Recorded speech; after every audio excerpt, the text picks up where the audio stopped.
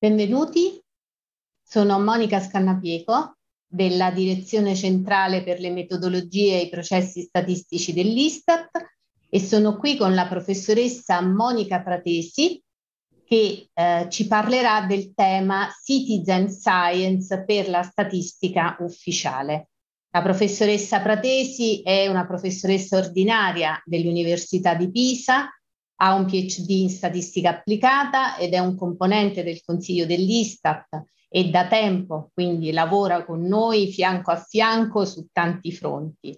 È membro dell'International Statistical Institute, dell'ISI, del, è presidente eletto dell'International Association of Survey Statisticians ed è stato presidente della Società Italiana di Statistica. Ha una grande esperienza eh, di ricerca e anche di, eh, in particolare su metodi di indagine e su statistiche sulla povertà e recentemente anche sul tema della citizen science. Eh, da tempo collabora anche con Eurostat su tanti temi di frontiera ed è stata anche membro del comitato scientifico della conferenza NPTS eh, New Techniques and Technologies for Statistics, nell'ambito della quale questo tema è stato più volte affrontato. Eh, prima di lasciare la parola alla uh, professoressa Pratesi, eh, volevo introdurre brevemente cosa come Istat eh, stiamo recentemente facendo in merito proprio alle possibili interazioni, nuove forme di interazione con i cittadini.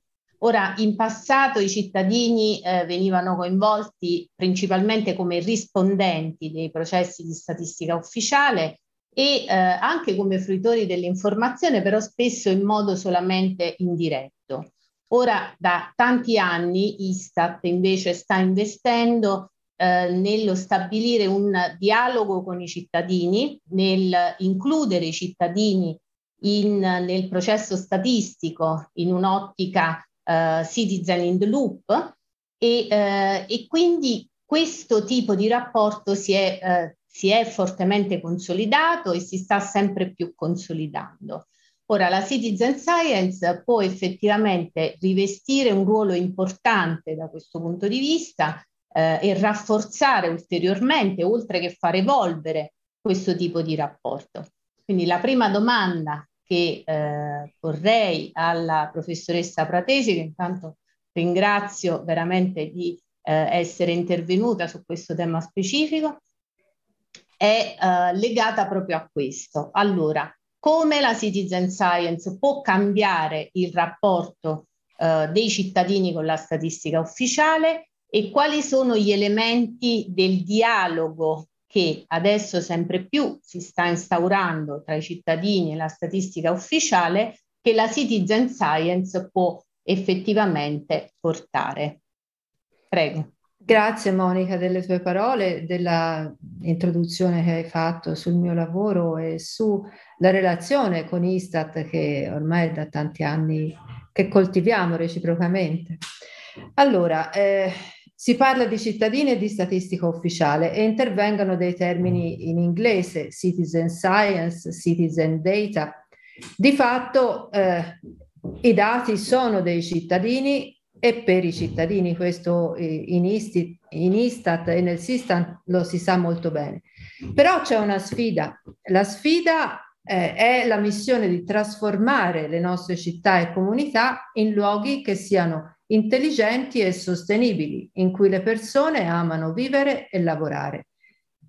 In questo eh, ci sono i dati generati dai cittadini che, che sono così tanti che sembra di, di poter dire che già abbiamo molti esperimenti di citizen science aperti ed è necessario quindi capirli e strutturarli in maniera che sia intelligente e utile per la statistica ufficiale e quindi di conseguenza per i cittadini che sono al tempo stesso fruitori dei dati statistici e fornitori. Quindi questa è un po' la cornice nella quale io metterei il dialogo a cui tu ti riferivi. Una nota, mm, forse non tutti sanno che la citizen science è nata in ambito, eh, direi, ecologico, mh? facendo presa sull'obiettivo eh, comune sulla necessità di monitorare l'ambiente? Mm? Eh, facendo presa sul senso civico e sul sentimento d'appartenenza delle persone alla comunità in cui vivono.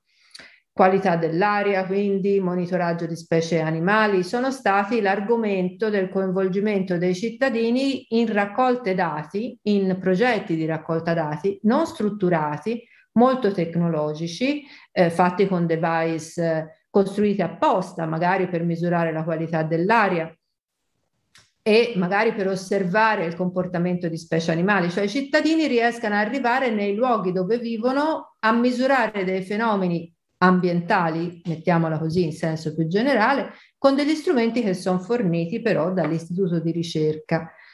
Ehm, ovviamente mh, si riesce ad arrivare laddove magari una raccolta dati standard, strutturata, non riuscirebbe eh, a arrivare. Però eh, lo schema che è quello del reclutamento dei cittadini, raccolta dati e poi alimentazione di un database, diffusione dei risultati, poi riconoscimento, ricompensa pubblica se si vuole, è uno schema che la statistica ufficiale conosce non solo da anni, direi da decenni, forse da secoli mh, hm, per certi aspetti. Allora, le leve sono le stesse che portano i cittadini a eh, collaborare per la raccolta dei dati statistici ufficiali, per le rilevazioni del piano statistico nazionale. La differenza è che se si è coinvolti in rilevazioni eh, del piano statistico nazionale abbiamo il diritto dovere di partecipare, mh? mentre per la citizen science eh, la partecipazione è volontaria e questa è una prima, diciamo, mh, notazione da tenere ben, ben presente. È vero anche che sappiamo tutti piuttosto bene qual è l'evoluzione dei tassi di risposta per le indagini, diciamo così, ufficiali fatte sulle famiglie e sulle imprese.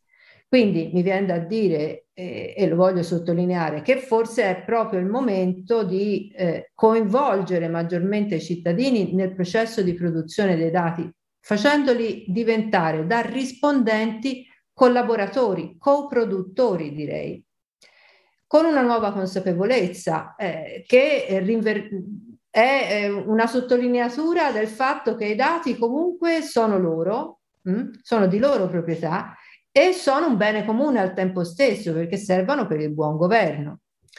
Di conseguenza direi che il dialogo è già aperto, ma che servono tre elementi nuovi per eh, renderlo attuale.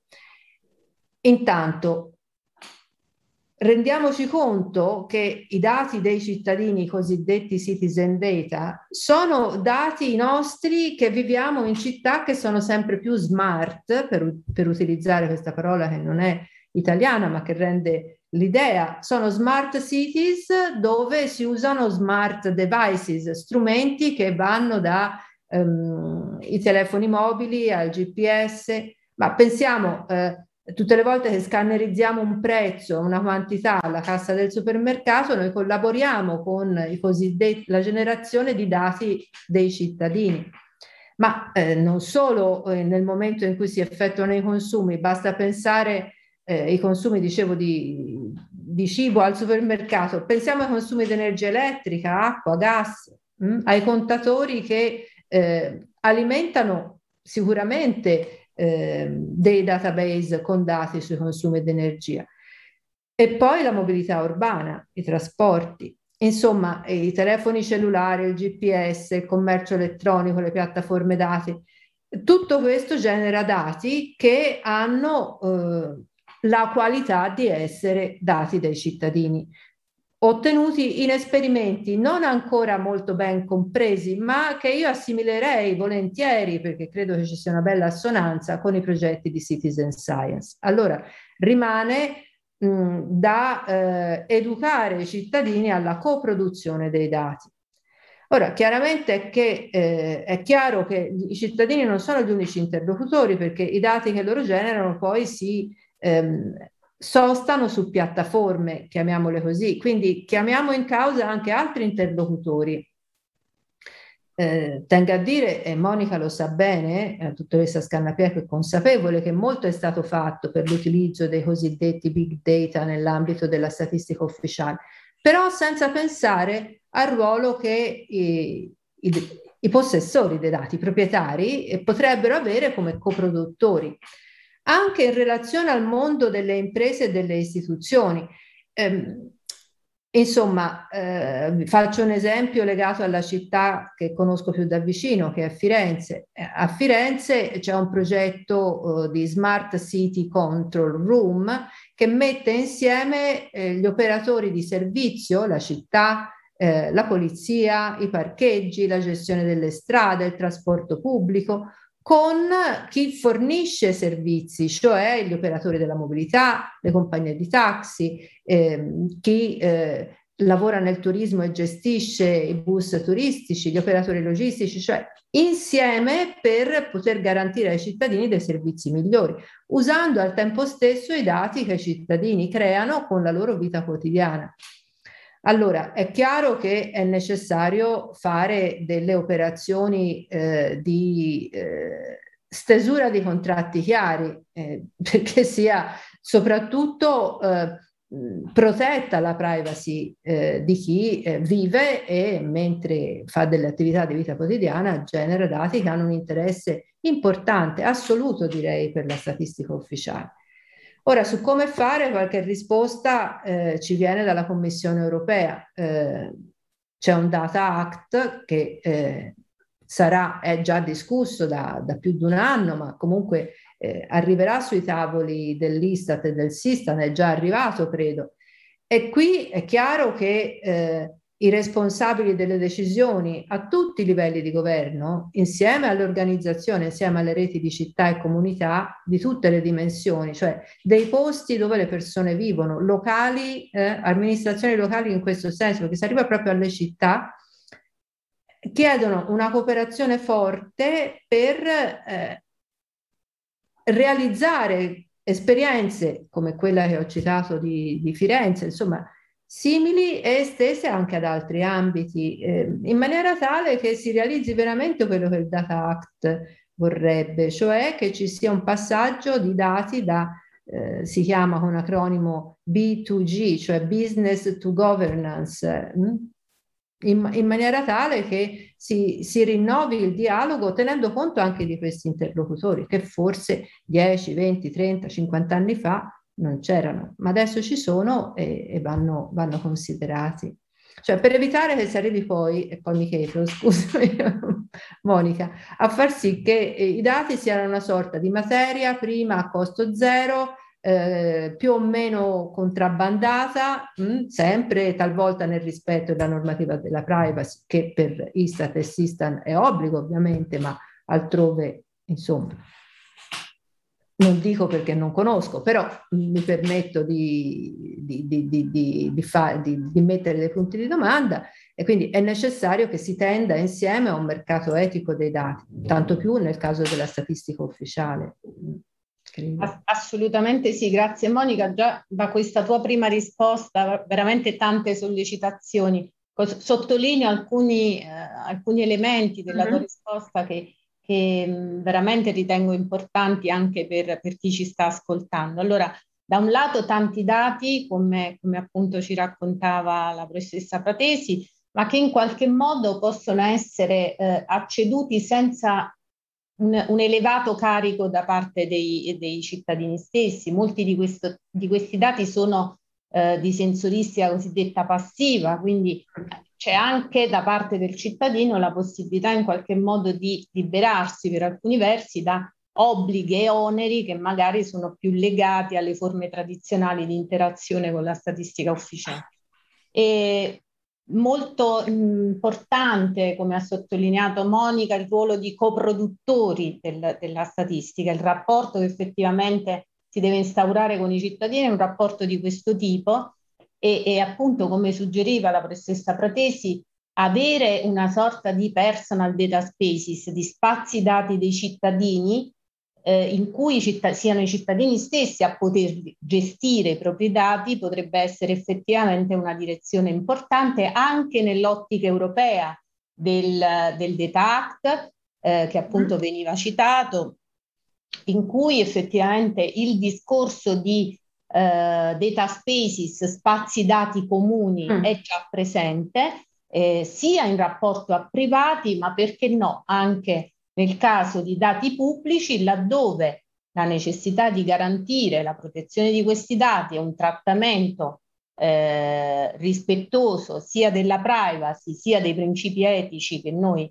abbiamo, ecco, richieda di costruire degli spazi dati che consentano effettivamente la gestione di questi dati in maniera propria. A questo eh. punto, ecco, ci siamo già... Se posso aggiungere una cosa, Monica, eh no. è, è, è questa. Allora, eh, giusto, gli spazi dati eh, e sarà, eh, a mio modo di vedere, il futuro e il ruolo di coproduttori. Però il patto con i cittadini deve essere chiaro, cioè loro donano dei dati, li definirei così, donatori di dati, e in cambio forse o lo fanno per un, motivo etico forte, che è quello di contribuire a costruire un bene pubblico, un bene comune, come è quello dei, dei dati, i dati statistici lo sono, quelli ufficiali dell'Istat, del Sistan lo sono, o altrimenti devono avere qualcosa in cambio, cioè un miglioramento della qualità della loro vita.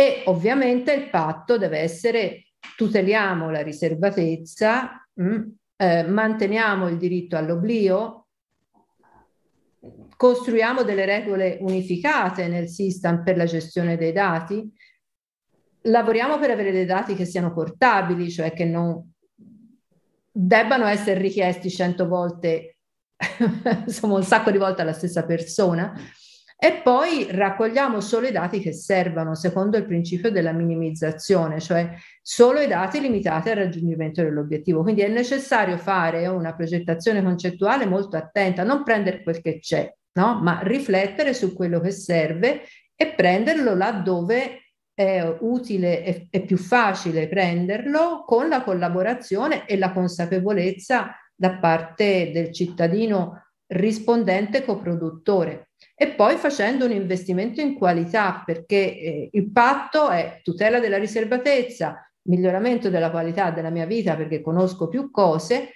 ma anche voglio conoscere queste cose secondo una qualità statistica, un profilo di qualità statistica che forse deve essere un po' rinnovato. Se ci sono nuovi processi di produzione dei dati, magari anche lo, il profilo di qualità non deve essere solo legato all'accuratezza, alla rilevanza, ma forse anche l'accessibilità dei dati va mh, ben regolamentata e il rispetto della privacy sicuramente.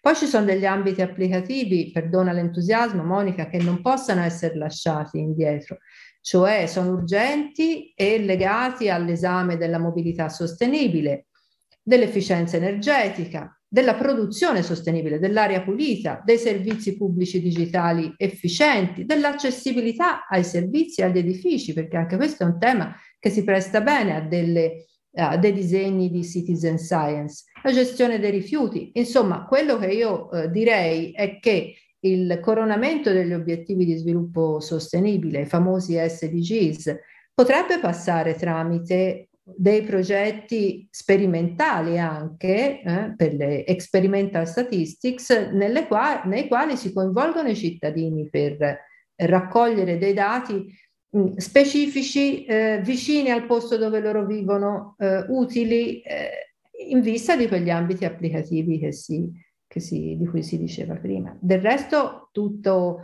il um, processo del, del, BES, degli indicatori di benessere equo e sostenibile, è nato con una consultazione no?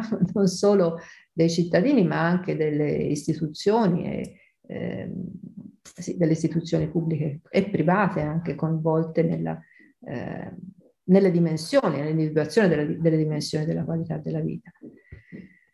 Eh, sì, direi che i tempi sono proprio maturi. Ecco posso dire che no, non solo ti perdono l'entusiasmo, ma lo condivido pienamente, perché effettivamente ci sono tantissime cose che eh, stiamo facendo, ma tante altre che, che potremmo fare. Ecco, una delle, delle, cose che appunto dicevi, legata al ritorno sui cittadini, mh, i tanti modi in cui sui, sui cittadini si mh, può ritornare eh, effettivamente a portare sta portando, ha portato a degli studi specifici sui meccanismi di incentivazione mm. che magari eh, possono appunto concretamente eh, portarci, rafforzare questo tipo di rapporto che vorremmo avere con i cittadini, per esempio ah. nell'ambito delle, delle smart survey, in cui appunto abbiamo un'indagine eh, diciamo tradizionale, però proviamo nell'ambito di un'indagine tradizionale a eh, raccogliere anche, ad esempio, dati da sensori, come dicevamo prima.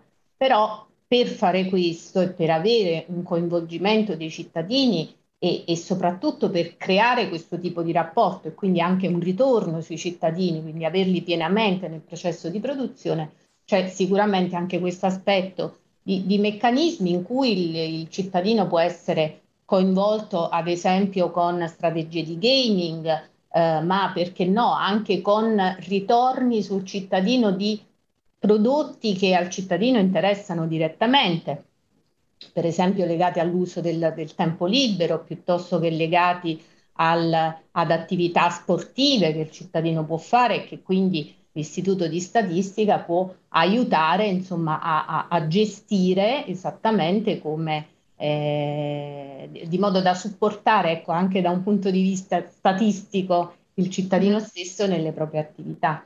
Quindi sicuramente anche questo è un aspetto.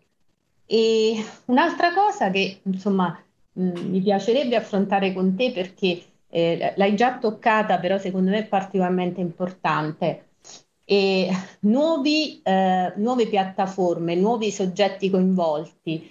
Ehm, come dire, per realizzare tutto questo e anche per realizzare appunto alcuni dei progetti, degli ambiti applicativi che citavi, che sono sicuramente importanti, però anche molto nuovi, in alcuni casi un po' meno, in altri un po' di più per, per la statistica ufficiale.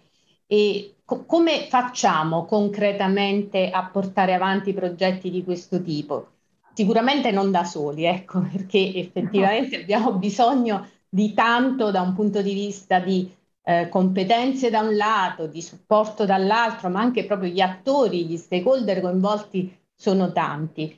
Quindi come possiamo muoverci, eh, secondo te, in termini di investimenti concreti che possiamo fare per sostenere un programma di questo tipo, che come dicevamo è bellissimo, è entusiasmante, però è anche molto mm-hmm. importante ecco, da un punto di vista di investimenti. Sì, beh, intanto eh, impariamo da chi ha già fatto qualche esperienza, questo è, ehm, beh, insomma, di base direi. Ehm, e io investirei nella conoscenza eh, di quello che sta succedendo proprio seguendo la strategia business to governance per la eh, co- condivisione dei dati dalle imprese e istituzioni private verso il, il, governo, seguirei quello che sta succedendo guidato dalla Commissione europea. Ci sono stati nel 2021, cioè quest'anno, cinque workshop eh, con coinvolgimento delle città e delle amministrazioni locali, di grandi comuni e di piccoli comuni. E i comuni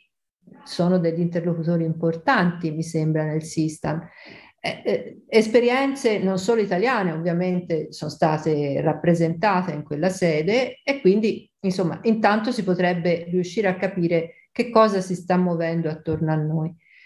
E in questi workshop si è parlato di altruismo dei dati, ma anche di acquisto di dati, mh? Hm, di contratti, di licenze, di accordi, di eh, piscine di ehm, condivisione di dati, che era un po' quello che dicevi eh, tu prima. Certamente eh, servono delle, delle, norme, delle regole e eh, forse anche ehm, delle leggi che permettano, per esempio, di avere un accesso ai dati ehm, dell'energia, perché quello eh, sarebbe molto importante per eh, non solo per avere eh, dati statistici nell'ambito sociale, diciamo così, ma anche nell'ambito economico. Forse già c'è questo, però ehm, non si può partire eh, da zero, insomma, è necessario costruire un apparato normativo attorno a, a queste iniziative. E poi eh, siamo nel Sistan eh, parliamo di polo strategico nazionale eh, e di amministrazione coinvolte in questo perimetro. Certamente eh, riuscire a inserire questo tema in un dibattito di questo genere creerebbe sinergie e ridurrebbe di sicuro, di sicuro i costi. Siamo nell'ambito dell'investimento del PNRR, Piano Nazionale Ripresa e Resilienza, che si chiama infrastrutture digitali. Allora, già che ci siamo, se Istat e Sistan avranno un ruolo in questo, e credo che lo avranno, Beh, cerchiamo di capire anche come si può mh, ottimizzare, se posso usare questa parola. E poi c'è l'economia delle piattaforme digitali. E ci sono aziende, ora io ne cito qualcuna, non tutte, abbiate pazienza, eh, Amazon, Facebook, Google, Uber, mh, per, per, pescare un po' da, dappertutto, e questi stanno creando delle infrastrutture online che eh, rendono possibili tante attività umane. Pensiamo a Uber, i tassisti me ne vorranno, però eh, in, in, senso generale i trasporti eh, sono regolarizzati anche dai servizi eh, taxi, quindi anche loro hanno, se vuoi, un posto in questa economia delle piattaforme digitali, per non far torto a nessuno. E questo, eh, su questo l'istituto, secondo me, e il Sistan non possono rimanere indietro, devono aver chiaro come eh, interagire, cioè cercare di interagire con questi interlocutori.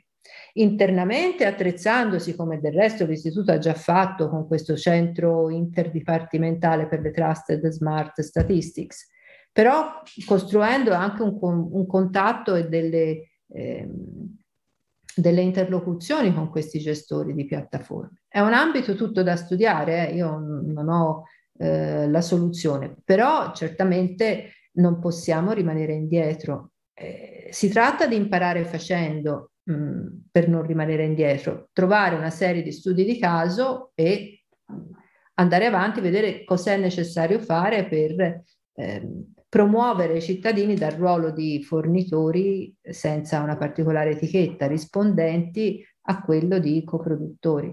Non ci dimentichiamo della ricchezza degli archivi amministrativi che sono già usati per produrre le statistiche ufficiali, che rischiano di rimanere statici però, se non alimentati in continuazione. Assolutamente sì, se non inseriti in un processo eh, certo. dinamico come, come, quello che stavi descrivendo. Mm.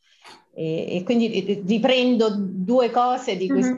ultima, di quest'ultimo intervento che effettivamente eh, ci danno la dimensione di come ci potremmo muovere. Quindi tu dicevi strategia dati nazionale intanto, quindi mm. facciamo sinergie con le altre pubbliche amministrazioni, facciamo mm. prima di tutto sinergie all'interno del Sistane, poi con le, con le altre pubbliche amministrazioni.